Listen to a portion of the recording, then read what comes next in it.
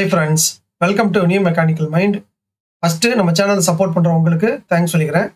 நீங்கள் நம்ம சேனலுக்கு புதுசாக இருந்தீங்கன்னா உடனே சப்ஸ்கிரைப் பண்ணுங்கள் இந்த வீடியோவில் நம்ம பார்க்க போகிறது standard room activities part three part two பார்க்காதவங்க மேலே வர லிங்கை கிளிக் பண்ணி பார்த்துட்டு வாங்க அப்போ தான் ரொம்ப நல்லா புரியும். போன பார்ட்டில் நாம் what is calibration types of calibration purpose for calibration what is testing types of testing purpose for testing இந்த எல்லா கண்டென்ட்டை பற்றியும் டீட்டெயில்டாக பார்த்தோம். இந்த பார்ட்டில் நாம் பார்க்க போகிற content what is inspection types of inspection purpose for inspection list of inspection items how inspection is done challenges to perform good inspection இந்த எல்லா கண்டென்ட்டை பற்றியும் டீட்டெயிலாக பார்க்க போகிறோம் ஸ்டாண்டர்ட் ரூமில் ஒர்க் பண்ணுறவங்களுக்கு இந்த இன்ஸ்பெக்ஷனை பற்றி டீட்டெயிலாக தெரிஞ்சிருக்கணும். இந்த வீடியோவில் நீங்கள் கண்டிப்பாக பல புது இன்ஃபர்மேஷன்ஸை பற்றி தெரிஞ்சுப்பீங்க. அதனால வீடியோவை கடைசி வரைக்கும் முழுசாக பாருங்கள் உங்களுக்கு ரொம்ப யூஸ்ஃபுல்லாக இருக்கும். வாங்க ட்ரைனிங்குள்ளே போகலாம் ஃபஸ்ட்டு வாட் இஸ் இன்ஸ்பெக்ஷன் இன்ஸ்பெக்ஷன்னா என்ன? ஒரு பொருளை செக் பண்ணுறத இல்லை எக்ஸாமைன் பண்ணுறத இன்ஸ்பெக்ஷன் சொல்லுவாங்க. In production industry inspection means assigning value to the product's parameter and confirming that the value falls within specification or not. Production இண்டஸ்ட்ரியை பொறுத்த வரைக்கும் இன்ஸ்பெக்ஷன்னா ஒரு ப்ராடக்ட் இல்லை பார்ட்டோட பேராமீட்டரை செக் பண்ணி அதோட ஆக்சுவல் வேல்யூவை கண்டுபிடிக்கிறது. இன்ஸ்பெக்ஷன் மூலமாக அந்த பேராமீட்டர் அவங்களோட ஸ்பெசிஃபிகேஷனுக்குள்ளே இருக்கா இல்லையாங்கிறதையும் கன்ஃபார்ம் பண்ணுவாங்க. This specification may be referred from any of the standard or based on design or process validation அந்த ஸ்பெசிஃபிகேஷனை ஏற்கனவே இருக்கிற நேஷனல் ஆர் இன்டர்நேஷனல் ஸ்டாண்டர்ட்லேருந்து எடுப்பாங்க. சம்டைம்ஸ் ஒரு கம்பெனியோட ப்ராடக்ட் வந்து யூனிக் டிசைனாக இருந்ததுன்னா அந்த ப்ராடக்ட் பேராமீட்டரோட ஸ்பெசிஃபிகேஷனை அவங்களோட டிசைன் வேலிடேஷனை வச்சியோ இல்லை ப்ராசஸ் வேலிடேஷனை வச்சியோ டிசைட் பண்ணுவாங்க. அதுக்கப்புறம் இன்ஸ்பெக்ஷன் பண்ணும்போது அந்த பேராமீட்டர் இந்த ஸ்பெசிஃபிகேஷனை மீட் பண்ணுதா இல்லையாங்கிறதையும் கன்ஃபார்ம் பண்ணுவாங்க. இதுதான் இன்ஸ்பெக்ஷன் இப்போ உங்களுக்கு இன்ஸ்பெக்ஷன்னா என்னங்கிறத பற்றி ஒரு ஐடியா கிடைச்சிருக்கும். அடுத்து நம்ம பார்க்க போகிறது டைப்ஸ் ஆஃப் இன்ஸ்பெக்ஷன் இந்த இன்ஸ்பெக்ஷனில் எத்தனை டைப்ஸ் இருக்குங்கிறத இப்போ நம்ம பார்த்துடலாம். ப்ரீ ப்ரொடக்ஷன் இன்ஸ்பெக்ஷன் ப்ரொடக்ஷனை ஸ்டார்ட் பண்ணுறதுக்கு முன்னாடி பண்ணுற inspection inspection during production production நடந்துட்டு இருக்கும்போது பண்ணுற inspection pre shipment inspection production பண்ணதுக்கப்புறம் டெஸ்பேச் பண்ணுறதுக்கு முன்னாடி பண்ணுற இன்ஸ்பெக்ஷனை ப்ரீ ஷிப்மெண்ட் இன்ஸ்பெக்ஷன் சொல்லுவாங்க.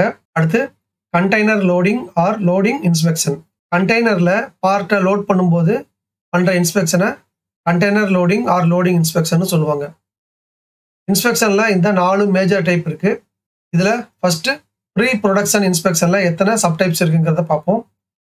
இதில் supplier inspection incoming inspection or receiving inspection அதில் sampling inspection hundred percentage inspection layout inspection child part இத்தனை டைப்ஸ் இருக்குது நெக்ஸ்ட்டு இன்ஸ்பெக்ஷன் டூரிங் ப்ரொடக்ஷனில் first off approval or first part inspection middle off inspection or patrol inspection last off inspection or last part inspection final inspection அதில் sampling inspection hundred percentage inspection layout inspection assembly part இந்த subtypes வந்து inspection during ப்ரொடக்ஷனில் இருக்குது அடுத்து pre shipment inspection இதில் two hundred percent inspection or firewall inspection pre dispatch inspection PDI dock audit இந்த மூணு subtypes இருக்குது அடுத்து container loading or loading இன்ஸ்பெக்ஷனில் sampling inspection hundred percent inspection இந்த ரெண்டு டைப் இருக்குது அடுத்து அதர் இன்ஸ்பெக்ஷன் டைப்ஸ் இது இல்லாமல் இன்னும் சில இன்ஸ்பெக்ஷன் டைப்ஸ் இருக்குது அதில் சென்ட்ரலைஸ்டு இன்ஸ்பெக்ஷன் சென்ட்ரலைஸ்டு இன்ஸ்பெக்ஷன்னா காமன் பிளேஸில் பார்ட்ஸ் இன்ஸ்பெக்ஷன் ஜிக் கேஜ் எல்லாத்தையும் கொண்டு வந்து இன்ஸ்பெக்ஷன் பண்ணுறத சென்ட்ரலைஸ்டு இன்ஸ்பெக்ஷன் சொல்லுவாங்க. அடுத்து ரெமடியல் இன்ஸ்பெக்ஷன் ரெமடியல் இன்ஸ்பெக்ஷன்னா இன்ஹவுஸ் இல்லை கஸ்டமர் கம்ப்ளைண்ட் வரும்போது சஸ்பெக்ட் பண்ணுற எல்லா லாட்டையுமே செக்ரிகேஷன் பண்ணுறத ரெமடியல் இன்ஸ்பெக்ஷன் சொல்லுவாங்க. இதில் எந்த ஒரு ஆப்ஷனுமே கிடையாது. ஹண்ட்ரட் பர்சன்ட் இன்ஸ்பெக்ஷன் மட்டும்தான் இருக்குது அடுத்து ரெட்ரோ இன்ஸ்பெக்ஷன் ரெட்ரோ இன்ஸ்பெக்ஷனும் ரெமடியல் இன்ஸ்பெக்ஷன் மாதிரியே தான். ரெமடியல் இன்ஸ்பெக்ஷனில் சஸ்பெக்டட் லாட்டை மட்டும் செக்ரியேட் பண்ணுவாங்க. ஆனால் ரெட்ரோ இன்ஸ்பெக்ஷனில் ஓகே லாட்டையும் சேர்த்து செக்ரியேட் பண்ணுவாங்க. அந்த ஓகே லாட்டில் சாம்பிளிங் இன்ஸ்பெக்ஷனும் பண்ணலாம். ஹண்ட்ரட் பர்சன்ட் இன்ஸ்பெக்ஷனும் பண்ணலாம். இது எல்லாமே டைப்ஸ் ஆஃப் இன்ஸ்பெக்ஷன் அடுத்து நம்ம பார்க்க போகிறது பர்பஸ் ஆஃப் இன்ஸ்பெக்ஷன் எதுக்காக இன்ஸ்பெக்ஷன் பண்ணணும்? To perform first off patrol last off and layout inspection as per customer and IATF requirements customer and IATF ரெக்குயர்மெண்ட்ஸுக்கு ஏற்ற மாதிரி ப்ரொடக்ஷன் பண்ணும்போது first off approval patrol inspection last off inspection அந்த பார்ட்டுக்கு lay out inspection இந்த மாதிரியான inspection எல்லாம் கண்டிப்பாக நம்ம பண்ணி ஆகணும். To ensure that the actual parameter is meeting customer requirement or not நாம ப்ரொடியூஸ் பண்ணுற ப்ராடக்டோட பேராமீட்டர் கஸ்டமரோட ரெக்குயர்மெண்ட்டை மீட் பண்ணுதா இல்லையாங்கிறத கன்ஃபார்ம் பண்ணுறதுக்காகவும் நமக்கு இன்ஸ்பெக்ஷன் தேவை. To identify defective product and to separate from okay part ஏதாவது ஒரு இஷ்யூ வந்துச்சுன்னா நம்ம ப்ராடக்டை இன்ஸ்பெக்ஷன் பண்ணாதான் அது ஓகேவா இல்லையாங்கிறத நமக்கு தெரிய வரும். அது மூலமா ஓகே பார்ட்டை என்ஜி பார்ட்லேருந்து செப்பரேட் பண்ணி வைக்க முடியும். To prevent defective part production and loss to company first off approval கொடுக்காம நாம ப்ரொடக்ஷன் ஸ்டார்ட் பண்ணோம்னா ப்ரொடியூஸ் பண்ணுற எல்லா பார்ட்டுமே தப்பாக வர வாய்ப்பு இருக்குது அதனால் கம்பெனிக்கு லாஸ் தான் வரும். அதை தடுக்கிறதுக்காக. To avoid rework or repair cost due to production of NG part suppose NG part வந்து நிறைய ப்ரொடியூஸ் ஆயிடுச்சுன்னா அதை ரீஒர்க் பண்ணுறதுக்கோ இல்லை ரிப்பேர் பண்ணுறதுக்கோ நிறைய காஸ்ட் வந்து அந்த கம்பெனி செலவு பண்ணும். ஃபர்ஸ்ட் ஆஃப் அப்ரூவல் கொடுக்கும்போதே என்ஜியை டிடெக்ட் பண்ணியாச்சுன்னா இந்த ரிப்பேர் ஆர் ரீஒர்க் காஸ்ட்டை நாம எலிமினேட் பண்ண முடியும். To prevent dispatch of defective part to customer so that we can avoid customer complaint return debit and penalty pre dispatch inspection பண்ணுறது மூலமாக டிஃபெக்டிவ் பார்ட் வந்து கஸ்டமருக்கு டிஸ்பேச் ஆகிறத தடுக்க முடியும். இதனால் கஸ்டமர்கிட்ட இருந்து வர்ற அன்னெசரி கம்ப்ளைண்ட்ஸ் ரிட்டர்ன்ஸ் டெபிட் இல்லை பெனால்ட்டி இதெல்லாம் தடுக்க முடியும். To save other cost such as இன்னும் சில காஸ்ட்டை நம்மளால சேவ் பண்ண முடியும். அது எதுனா inventory cost due to storage of defective parts நம்ம ப்ரொடியூஸ் பண்ண என்ஜி பார்ட்ஸ் எக்ஸஸ் இன்வென்ட்ரியில் போய் உட்காந்துரும் அதனால தேவையில்லாமல் இன்வென்ட்ரி காஸ்ட் வந்து இன்க்ரீஸ் ஆகும். அதை தடுக்க முடியும். Storage cost due to usage of controlled room condition and utilisation of storage or floor space சில ப்ராடக்ட்ஸை கண்ட்ரோல்டு ரூம் கண்டிஷனில் தான் ஸ்டோர் பண்ணி வைக்கிற மாதிரி இருக்கும். அந்த கம்பெனியில் டிஃபெக்டிவ் பார்ட் ப்ரொடியூஸ் ஆகும்போது அதையும் அவங்க கண்ட்ரோல்டு ரூம் கண்டிஷனில் தான் ஸ்டோர் பண்ணி வச்சாகணும். அந்த காஸ்ட் வந்து தேவையில்லாமல் கம்பெனிக்கு வேஸ்ட் ஆகும். அதே மாதிரி அதுக்கான ஸ்டோரேஜ் ஸ்பேஸ் இல்லை ஃப்ளோர் ஸ்பேஸை யூஸ் பண்ணும்போது அந்த காஸ்ட்டும் கம்பெனிக்கு தேவையில்லாமல் வேஸ்ட் ஆகும். இந்த காஸ்ட்டை எல்லாம் இன்ஸ்பெக்ஷன் ஆக்டிவிட்டி பண்ணுறது மூலமாக தடுக்க முடியும். To approve the new tool or part produced at first time புதுசாக ஒரு ப்ராடக்டை வந்து ப்ரொடியூஸ் பண்ணுறாங்க இல்லை புதுசாக ஒரு ப்ராடக்ட்டுக்காக டூலை டெவலப் பண்ணுறாங்கன்னா அதை இன்ஸ்பெக்ஷன் பண்ணுறது மூலமாக இந்த டூலையோ இல்லை பார்ட்டையோ அப்ரூவ் பண்ணலாம்.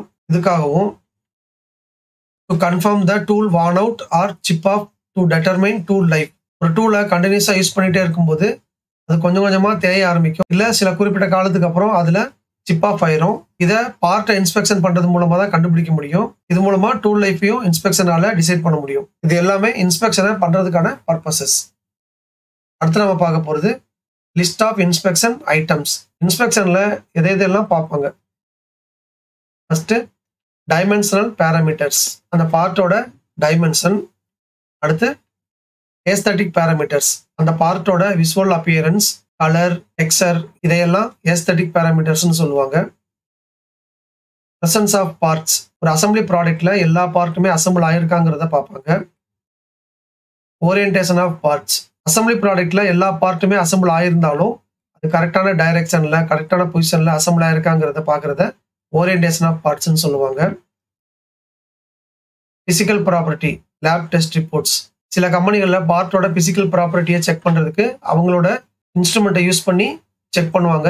அந்த ஃபெசிலிட்டி அவங்க கிட்ட இல்லைன்னா லேபில் கொடுத்து இன்ஸ்பெக்ஷன் பண்ணி அதோட ரிப்போர்ட்ஸை வந்து வெரிஃபை பண்ணுவாங்க.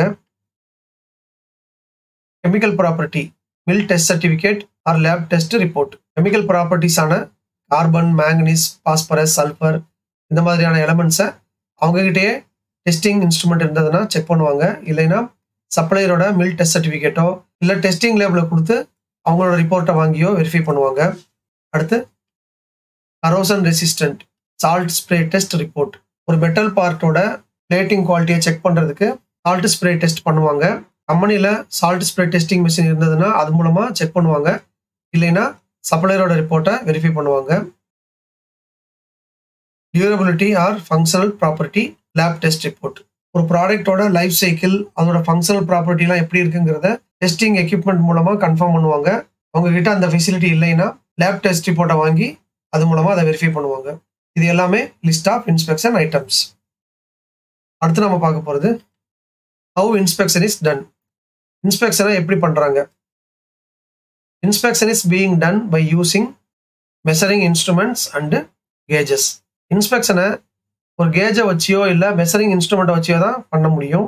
அப்போ தான் அந்த ப்ராடக்டோட பேராமீட்டருக்கு வேல்யூவை அசைன் பண்ண முடியும். கம்பெனியில் நிறைய மெசரிங் இன்ஸ்ட்ருமெண்ட்ஸ் அண்டு கேஜஸ் இருக்குது இதுக்கு சில எக்ஸாம்பிள்ஸை பார்ப்போம். First example for instruments vernier caliper dial vernier digital vernier vernier depth gauge vernier dial depth gauge vernier digital depth gauge type B vernier type B digital vernier low force vernier height gauge, dial height gauge, digital height gauge, gear teeth vernier, digital gear teeth vernier, bevel protector, inside groove vernier, digital inside groove vernier, steel rule, micrometer, digital micrometer, point micrometer, digital point micrometer, blade micrometer, digital blade micrometer, spline micrometer, digital spline micrometer, depth micrometer, digital depth micrometer, pitch micrometer, digital pitch micrometer, disc micrometer, digital disc micrometer, tube micrometer, digital tube micrometer, caliper type inside micrometer, tubular inside micrometer, bore dial, air gauge, dial gauge, digital dial gauge, paper gauge, measuring tape, roughness tester, plating thickness tester, அதில் analog digital universal testing machine UTM hardness tester contour tracing machine coordinate measuring machine CMM இது எல்லாமே measuring இன்ஸ்ட்ருமெண்ட்ஸ்க்கான examples இது இல்லாமல் இன்னும் வேறு ஏதாவது measuring இன்ஸ்ட்ருமெண்ட்டை நீங்கள் use பண்ணிங்கன்னா அதை கமெண்ட் பாக்ஸில் கமெண்ட் பண்ணுங்கள் அடுத்து எக்ஸாம்பிள் ஃபார் கேஜஸ் கேஜஸ்க்கும் சில எக்ஸாம்பிள்ஸை பார்ப்போம். Snap gauge or gap gauge with gauge length gauge plus pin gauge plug gauge thread plug gauge ring gauge thread ring gauge feeler gauge radius gauge pitch gauge slip gauge pin gauge roughness gauge. இது எல்லாமே examples for kgs இன்னும் வேற ஏதாவது கேஜஸை நீங்கள் use பண்ணீங்கன்னா அதை comment பாக்ஸில் comment பண்ணுங்கள் அடுத்து challenges to perform good inspection inspection என்னங்கிறத நம்ம பார்த்துட்டோம்.